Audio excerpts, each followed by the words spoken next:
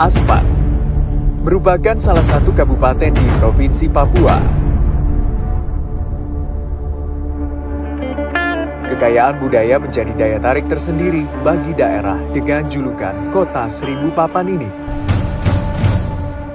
Oleh karena itu, program pelestarian budaya dalam hal kesenian, upacara adat, dan makanan tradisional harus terus dipertahankan sebagai warisan berharga untuk anak cucu di masa yang akan datang. Kemajuan Kabupaten Asmat dalam empat tahun terakhir menunjukkan bahwa Asmat saat ini terus berkembang menuju daerah yang lebih baik. Dengan pembangunan infrastruktur yang terus digencarkan, dan pembangunan ekonomi kerakyatan yang menjadi fokus pemerintah Kabupaten Asmat diharapkan akan berdampak positif untuk meningkatkan kesejahteraan warga Asmat. Kemajuan infrastruktur dan budaya tidak terlepas dari peningkatan mutu kesehatan dan pendidikan. Sehingga dalam empat tahun terakhir, pemerintah Kabupaten Asmat fokus terhadap peningkatan pelayanan kesehatan dan pendidikan di bawah kepemimpinan Elisa Kambu dan Thomas F.P. Savanko.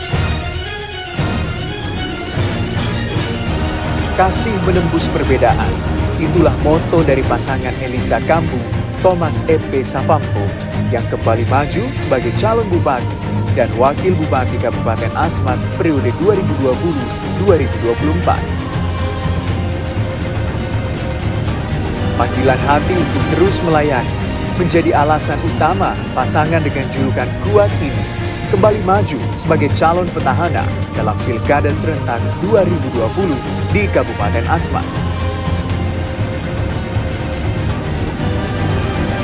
Melalui visi terwujudnya masyarakat Asmat yang maju, mandiri, sejahtera, dan bermartabat berbasis budaya lokal, kuat Yakin Asmat yang tercinta bisa lebih maju.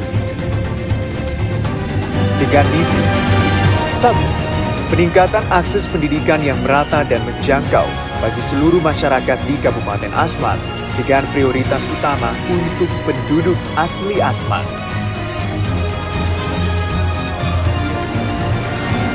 Dua, peningkatan akses pelayanan kesehatan yang merata di semua kampung Ketiga, peningkatan akses infrastruktur dasar yang merata di semua kampung.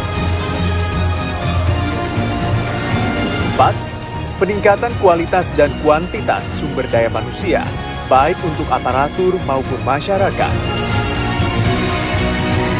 Lima, peningkatan pemberdayaan ekonomi kerakyatan bagi masyarakat asli Papua. Enam, peningkatan kesejahteraan bagi pegawai negeri sipil. 7. Mendorong iklim investasi di Kabupaten Asmat sesuai dengan potensi daerah. Kuat menyadari mimpi besar untuk memajukan Asmat hanya dapat dicapai dengan dukungan dan doa dari seluruh masyarakat Asmat. Untuk itu, percayalah, kuat akan bekerja sekuat tenaga untuk melayani masyarakat Asmat menuju masyarakat yang maju, mandiri, sejahtera, dan bermartabat berbasis budaya lokal. Coblos nomor satu, Kampung Safan. Kuat! Kuat! Jangan lupa, tanggal 9 Desember, coblos nomor urut 1, Kuat, Elisa Kambu, Thomas E.P. Savanpo,